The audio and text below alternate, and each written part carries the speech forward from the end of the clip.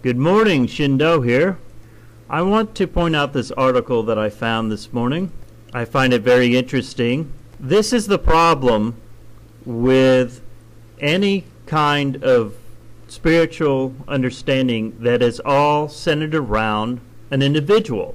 That once you break down the stories surrounding that individual, you break down their spirituality. Christianity is a cult of personality. Why, while these stories from the Christian Bible may be myth, however, it does not mean that we cannot gain some spiritual understanding from those myths.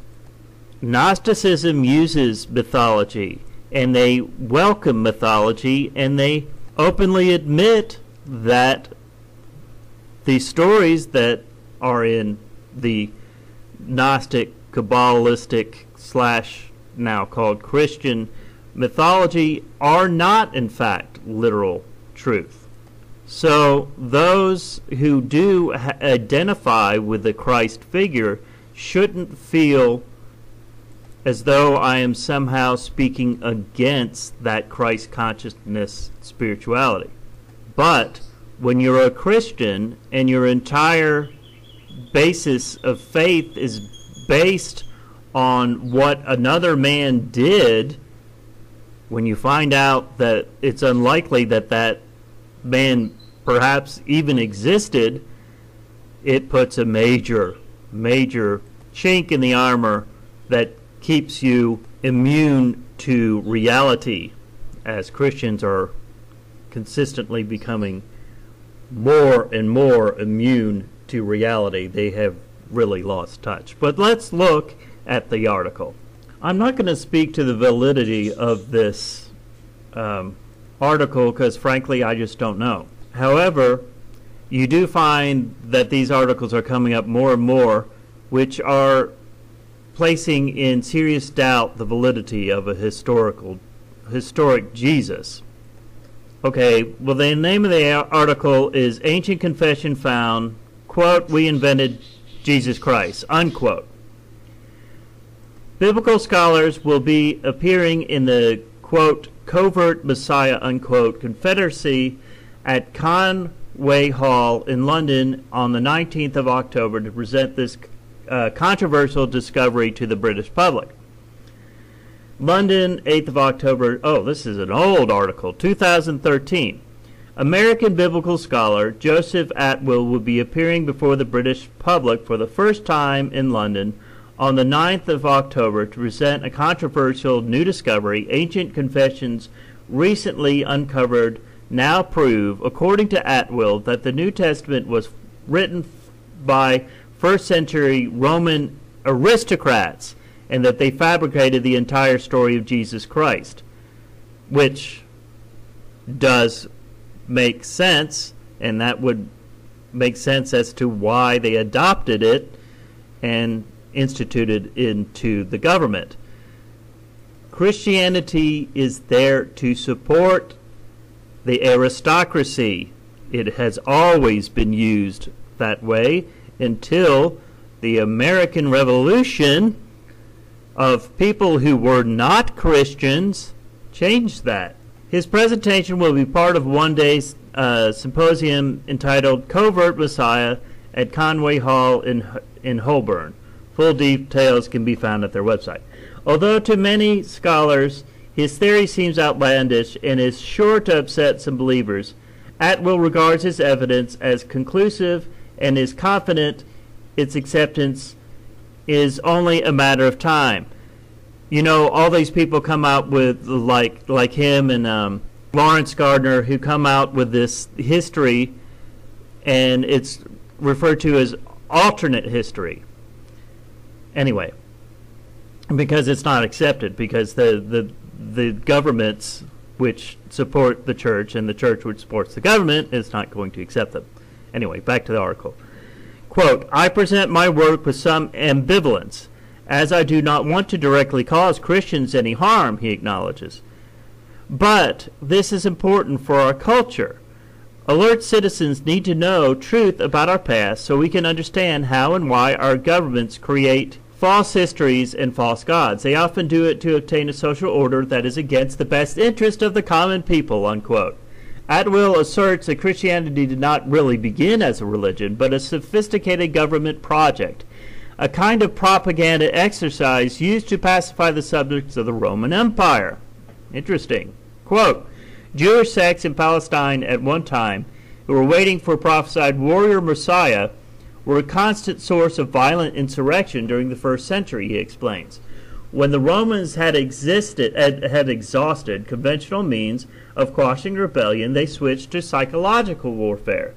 They surmised that the way to stop and spread a jealous Jewish missionary activity was to create a, com- a competing belief system. That when the peaceful Messiah story was invented, instead of inspiring warfare, the Messiah urged turn the other cheek pacifism and encouraged Jews to give unto Caesar and pay their taxes to Rome. Was Jesus based on a real person from history? The short answer is no, Atwill insisted. Quote, In fact, he may be the only fictional character in literature whose entire life story can be traced to other sources. Once these sources are all laid bare, there's simply nothing left. Unquote. Atwill's most intriguing discovery came to him when he was studying, quote, War of the Jews, unquote, by Joseph, Jos, Joseph, Josephus, the only surviving first person historical account of the first century Judea, alongside with the New Testament. Quote, I started to notice a sequence of parallels between the two texts, he recounts. Quote, although it's been recognized by Christian so, uh, scholars for centuries that the prophecies of Jesus appear to be fulfilled by what Josephus wrote about in the first Jewish Roman War, I was seeing dozens more. What seems to have eluded many scholars is that the sequence of events and locations of Jesus' ministry are more or less the same as the sequence of events and locations of military campaign of Emperor Titus uh, Flavius, as described by Josephus. This is clear evidence of a deliberately constructed pattern. The biography of Jesus is actually constructed tip to stern on prior stories but especially on the biography of Roman Caesar. Unquote. How could this go unnoticed in the most scrutinized book of all time? Quote, Many of the parallels are conceptual or poetic, so they aren't at all immediately obvious. After all, the authors did not want the average believer to see what they were doing, but they did not want they did want the alert reader to see it. An educated Roman in the ru- ruling class would probably have recognized the literary game being played. Unquote. Atwill maintains he can demonstrate that, quote, the Roman Caesar left us a kind of puzzle literature that was meant to be solved by future generations, and the solution to the puzzle is we invented Jesus Christ, and we're proud of it, unquote. Is this the beginning of the end of Christianity? Quote, probably not grants Atwill's quote. But what my work does, what has done, is to give perm- permission to many of those ready to leave the religion to make a clean break. We got the evidence now to show exactly where the story of Jesus came from. Although Christianity can be a comfort to some, it can also be a damaging and repressive and insidious form of mind control that has led to blind acceptance of serfdom, poverty, and war throughout history. To this day, especially in the United States, it is used to create support for war in the Middle East, unquote. I'm sure many of uh, Lucy and my listeners will agree with that statement, as do I. Atwill uh, encourages skeptics to challenge him at the Conway Hall, where after presentation there is likely to be a lively Q&A session. Joining Mr. Atwill will follow scholar Kenneth Humphreys, author of the book Jesus Never Existed. Okay, further information can be found at their website. So, this man Atwill is a very interesting figure. You, you've got uh, a lot of people coming out and questioning the authenticity of the Bible nowadays. Of course, I did do my videos called Gospel Fictions.